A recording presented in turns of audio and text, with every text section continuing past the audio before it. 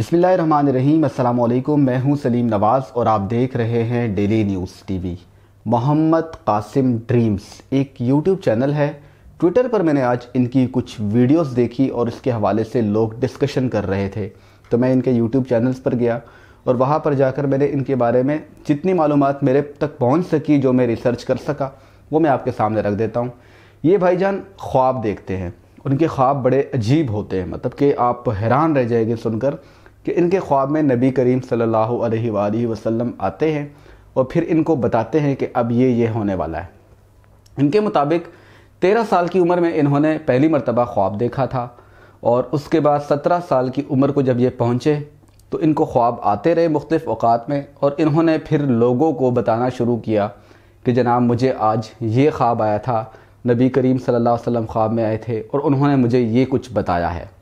इनके ख्वाब आप समझ लें कि किस तरह के होते हैं कि इनके ख्वाब में एक तो ये बात की जाती है गजबा हिंद की, इनके ख्वाब में दज्जाल की बात की जा रही है।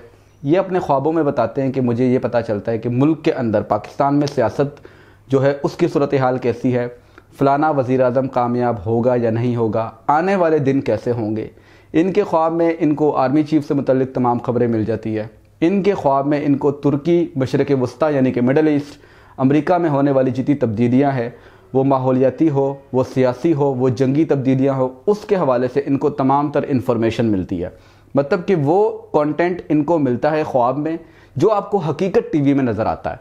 अब आप हकीकत टीवी को उठाकर देख लें कि पिछले तीन चार साल से अवाम को फुद्दू बनाया हुआ है, रोज़ाना ये लोग दज्जाल को नाजिल कर देते हैं। अब तो मुझे कुछ लोग तो हकीकत टीवी देखने वाले जो लोग हैं ना उनको तो ये डर होता है कि भाई कहीं मेरा साथ वाला ही दज्जाल ना हो, या साथ किसी गड़े से दज्जाल निकल ही ना आए। ठीक है? दज्जाल ने आना है। इस पर हमारा यकीन है, क्योंकि ये हमें बताया गया है, कुरान के अंदर, मुख्तलिफ़ किताबों के अंदर, हदीस में बताया गया है। लेकिन हकीकत टीवी पिछले तीन साल से आपको दज्जाल दिखा रहा है। ये बंदा भी ये हरकतें कर रहा है। दज्जाल के बारे में आप लोगों को ख्वाब सुनाता है कि जनाब उसके बाल गुंगरियाले होंगे, वो काला होगा, वो काणा होगा, उसका कद इतने फुट, इतने इंच होगा। ये भी आपको इस बंदे ने बता दिया है। उसके अलावा हकीकत टीवी जिस तरह हर वक्त बताता है, इसराइल की साजिश, इसराइल की साजिश, इसराइल की साजिश। सेम हरकतें यही बंदा करता है कि भाई आपको हर वक्त बता रहा है कि इसराइल हमला करने वाला है। और पिछले तीन चार साल से मुसलसल यूट्यूब पर, उससे पहले फेसबुक पर पता नहीं क्या कुछ ये इसराइल से मुतल आप लोगों को ख्वाब सुनाता रहा। तो दोनों की कम्बिनेशन है, दोनों मतलब सेम पैटर्न्स पे चल रहे हैं। उसके अलावा जिस तरह हकीकत टीवी बताता है कि हिंदुस्तान से हमें ख़तरा है, जो कि हमें बचपन से ही हिंदुस्तान से ख़तरा है। जब से मैंने होश संभाला, उस दिन से मैं सुन रहा हूँ कि हिंदुस्तान हमारा दुश्मन है। अब हिंदुस्तान ऑब्वियसली हमारा दुश्मन है, वो हमारा अच्छा तो नहीं चाहेगा। तो ये ख्वाब में बताते हैं कि हिंदुस्तान की तरफ़ से अच्छी खबरें नहीं आ रही। वो पाकिस्तान के ख़िलाफ़ कुछ ऐसी प्लानिंग्स कर रहे हैं या जंग करना चाह रहे हैं। तो ये चीज़ तो हम बचपन से सुनते हुए आ रहे हैं और उनको ये ख्वाब आते हैं और लोग बड़े शौक से सुनते हैं। मुझे तो हैरत होती है। मज़े की बात, लोग तो सुनते हैं साथ ही कुछ दो न्यूज़ चैनल्स थे, उन्होंने इसके इंटरव्यूज़ किए हुए। बड़े सीरियस होकर एंकर इनसे सवाल पूछ रहे यूँ करके इनको सुन रहे कि जैसे बहुत बड़े महान हो। लेकिन इनके ख्वाब देखे, बड़े अजीम ख्वाब है। ऐसे ख्वाब हमारे औरिया मकबूल जान साहिब को भी आते रहे हैं। और इसके अलावा डॉक्टर शाहिद मसूद साहब, आप उनको जानते होंगे, अभी भी वो प्रोग्राम्स करते हैं। उनके कुछ ख्वाब हो या उनके कुछ तजिए हो, या तुक्के आप कह लें, वो भी कुछ इसी तरह के होते हैं। वो भी अक्सर इसराइल की साजिश, अमेरिका की साजिश, और एक दफ़ा उन्होंने, याद है आपको, क़्यामत करा दी थी। इस शख्स ने भी क़्यामत करा दी थी, और इसके अलावा हकीकत टीवी ने 2018 में कहा था कि 2019 में क़्यामत आने वाली है। इस शख्स ने भी कहा 2019 में उन्होंने कहा कि जनाब, क़्यामत आने वाली है 2020 में। फिर उन्होंने भी यही बात की। ये तीनों एक शाहिद मसूद, डॉक्टर शाहिद मसूद साहिब, मोहम्मद कासिम ड्रीम्स साहिब, ये ख्वाबों वाले जो हमारे हैं, नए आए हैं। मैंने पहली मरतबा देखा है इनको, और हकीकत टीवी वाले जो हमारे जनाब है, और उनके सुनने वाले तमाम लोग। जिनको जंग के अलावा, मशरक़ वस्ती के अलावा, तुर्की के अलावा, इसराइल की साजिश के अलावा कुछ नहीं मिलता। मैं इस शख्स पर किसी किस्म की कोई तनकीद नहीं कर रहा। आप लोगों ने कमेंट सेक्शन में बताना है कि यार, अगर आपने इसको कभी सुना है तो ठीक, नहीं सुना तो सुन लीजिए एक दो मरतबा ताकि आप लोगों को भी तसल्ली हो जाए कि ये बंदा कहना क्या चाह रहा है, ये क्यों कह रहा है, इसकी क्रेडिबिलिटी क्या है, इसका बैकग्राउंड क्या है, ये कैसे आपको बता रहा है और ये जो बता रहा है क्या ये हकीकत है या नहीं है? वो आपने कमेंट सेक्शंस में बताना है, मैं नहीं बताऊँगा। लेकिन मैं पर्सनली अपनी राय ज़रूर रखूँगा कि मैं हैरान हो गया हूँ कि यार ये बंदा कहना क्या चाह रहा है और क्यों कह रहा है। हाँ जब मैंने देखा कि ये किस किस्म का पैटर्न लेके आया है, इसका pattern same to same doctor Shahid Masood, जिनको क़यामत मसूद साहब कहा जाता है।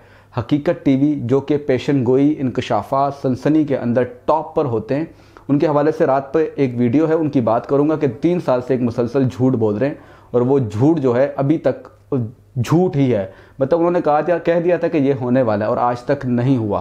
तो उनको ये फॉलो कर रहे हैं। जहाँ तक मेरा एक अंदाज़ा है, उसमें यह है कि भाई यूट्यूब पर हर बंदा इधर छोड़ने आता है। साफ़ बात है। अस्सी परसेंट आवाम यहाँ पर छोड़ती है और छोड़ने से मेरा झूठ बोलते हैं, फजूल इन्फॉर्मेशन आपको देते हैं और ये किस लिए करते हैं? पैसे कमाने के लिए व्यूज़ लेने के लिए, अपना इन्फ्लुएंस या अपना एक बयानिया या प्रोपेगेंडा फैलाने के लिए। तो इस तरह हकीकत टीवी को बीट करने के लिए इस शख्स ने ख्वाबों वाला सिस्टम इससे मुतारफ़ करवाया, जहाँ तक मेरा अपना अंदाज़ा है।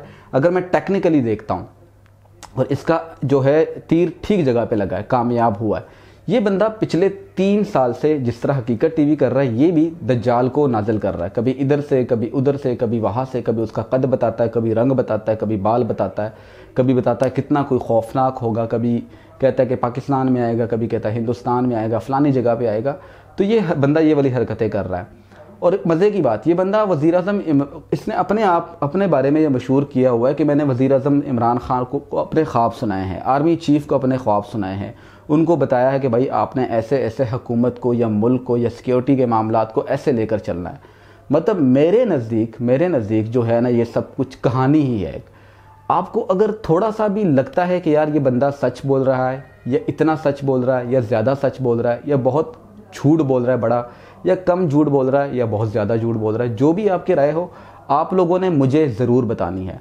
मैं पर्सनली इससे बिल्कुल भी सेटिस्फाइड नहीं हुआ, क्योंकि ये जो चीज़ है ना, जो इसराइल वाली, जो इंडिया वाली और इसके अलावा इंटरनेशनल मामला वाली, जंग वाली, हमलों वाली, सनसनी वाली, पेशन गोई वाली चीज़ें जो है ना, मेरे नज़दीक यूट्यूब पर, क्योंकि मैं यूट्यूब पर अभी से नहीं हूँ मतलब एक साल से चैनल चला रहा हूँ, इससे पहले मैं मीडिया में था तो मैं इन मामला को ऑब्ज़र्व करता रहा।